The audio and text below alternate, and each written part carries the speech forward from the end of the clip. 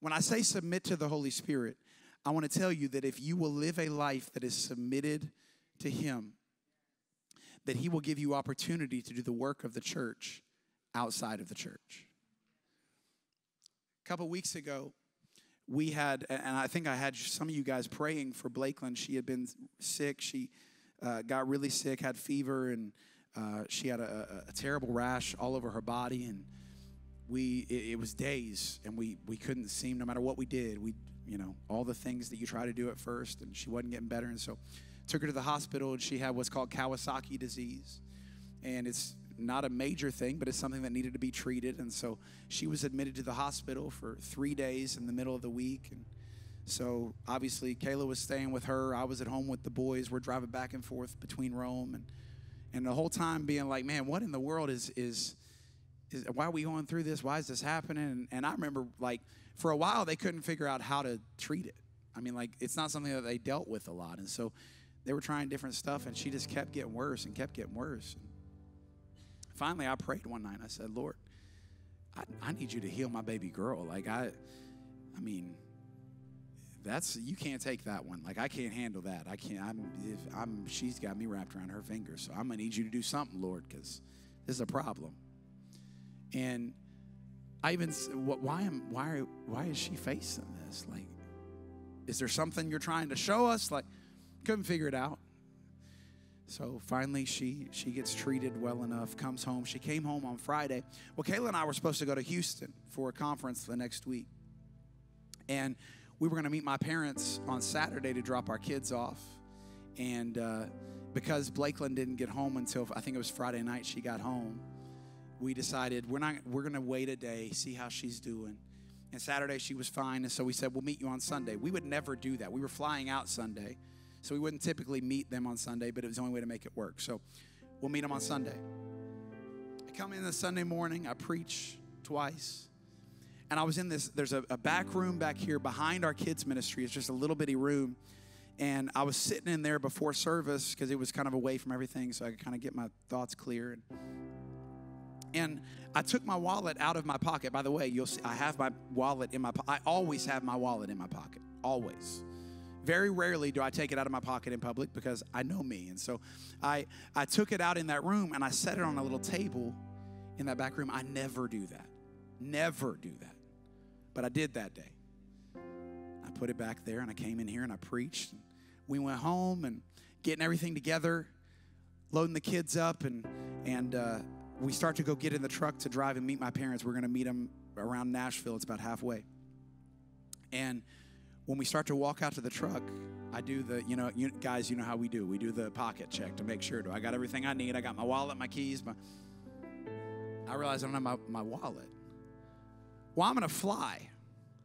You can't fly without your wallet. You can't fly without your license. And so I told Kayla, all right, well, we don't have time to go back to the church. We live in Adairsville. It's 25 minutes.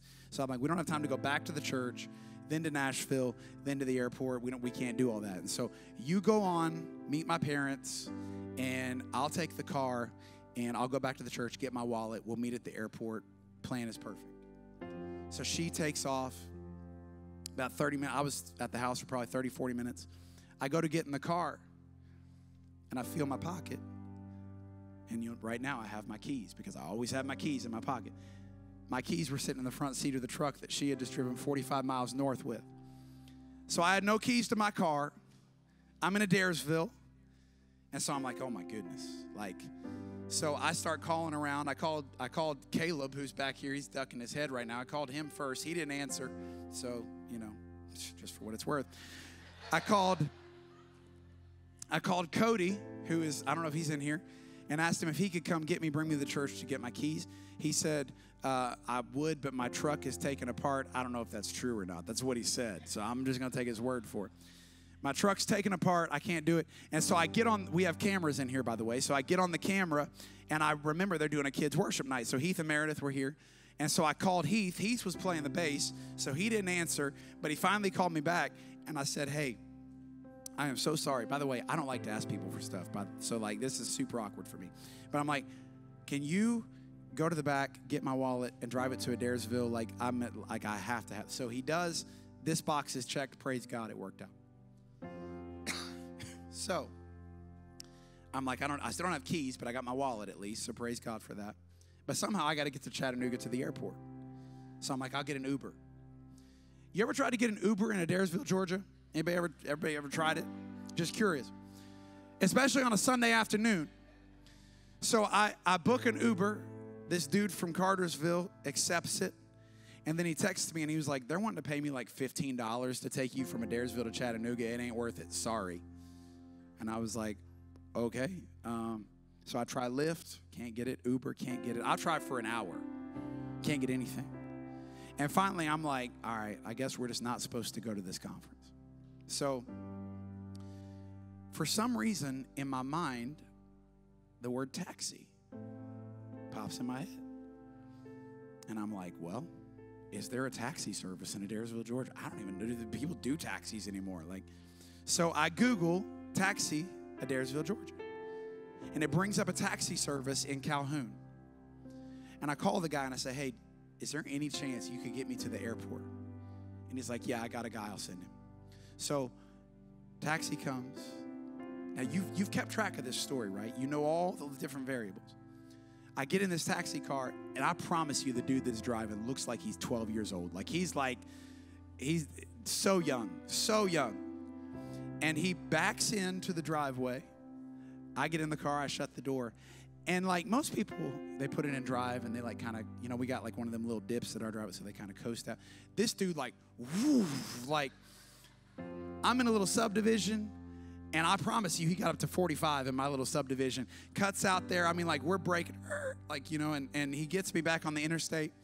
And I texted Kayla and I was like, I might die. I'm not sure. But, like, and literally what I told her, I told her this I said, either God is about to bless us outside of our minds at this conference, or we're going to die on the way because it's either the devil or the Lord that is trying to get us to not go on this trip.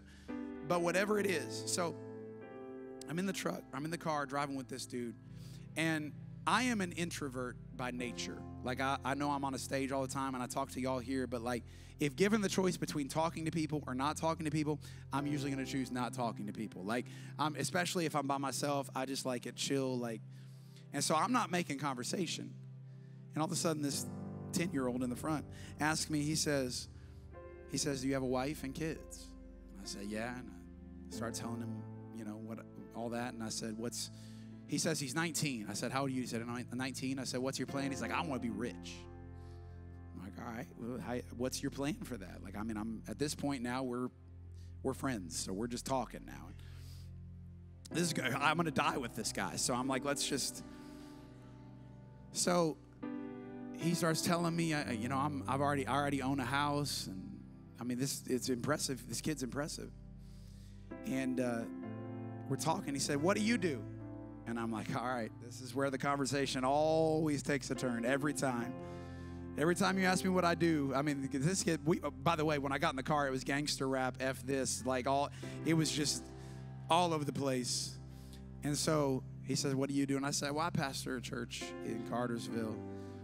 And he's like, Oh, man, I'm super religious. Like, I mean, I, I'm big, big religious. And, um, I said, Oh, yeah. I said, Where do you go to church at? He told me, He said, I, I'm, he said, I'm Jehovah's Witness, but I want to be Muslim. And I'm like, all right, now we're now we're gonna go. Let's. This conversation just got interesting. I was like, tell me about that. Like, what's your, what's kind of the reasoning there? He said, I just, you know, like I, I go to church, and he said it just seems like Christians, they're just, they're just kind of playing a game with it. He's like, but then I see all these Muslims, and they're like, I mean, they're committed like they know everything that their book says and he's like i just i respect that and i said i get that i, I mean like cause i do i get that i'm as, nobody's more frustrated with christians than pastors i'm gonna just tell you that right now like i get that and i said but what about what if there was only one way to heaven like what if what the bible says is true we had a conversation. We started talking about different stuff, and I started talking about how you know Islam and Christianity. It's they're both from the same root. They just they got it wrong. It's it's different interpretations of what happened after Abraham. It's it's that Ishmael was the one that was blessed and not Isaac. And so that's there's literally this branch. And so every war that you see in the Middle East for all time, it all ties back to this is the root of every conflict. And so I started talking with him and and ultimately it, it came to a, a conversation about the end times. And I said, you know what I believe? I said, I believe that, because he said he believed in the Antichrist and he said he, all this stuff. And I said, I believe that Islam and Judaism are going to be some of the largest proponents of the Antichrist because they're still looking for a Messiah. And I don't know, that, it wasn't like this profound statement, but when I said that, something shifted in this kid. And he was like, oh my goodness. He's like, that makes so much sense. Kept talking. We got off the exit to go to the, the interstate. And I mean, like, I, I'm still being, I'm still an idiot. Like, I'm not, I'm not picking up on what's happening yet. I'm still just having a conversation. Like we're just talking about theories of theology. And when we got off the exit, man, the Holy Spirit hit me. And he said, This is why your daughter was in the hospital for three days. This is why you took your wallet out of your pants. This is why you left your keys in the truck. This is, he said, This is why. And I said, Man, can I tell you a crazy story? I said, Let me tell you about my week. I told him everything that happened. And I said, And God just told me to tell you that all of it was so that you would know that Jesus loves you, that He is the only way to heaven, and that He wants a relationship with you. And his voice started to break. And I said, Would you mind if before I got out of here, could I pray with you? And he said, I would love that. And before I walked into the airport to get on the plane, I got to pray with a 19 year old taxi driver from Calhoun, Georgia. That's not because I am such an effective soul winner. I just told you I talked to the kid for 45 minutes before I realized, oh, I'm supposed to tell him about Jesus. If you will be submissive to the Holy Spirit, He will use you in ways that you didn't imagine possible and in scenarios that you would have never planned for yourself. Because that is how God works. But it is time that we get busy about the kingdom of God.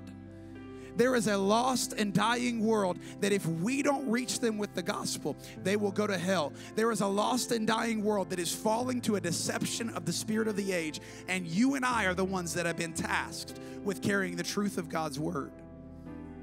But it's time that we get busy.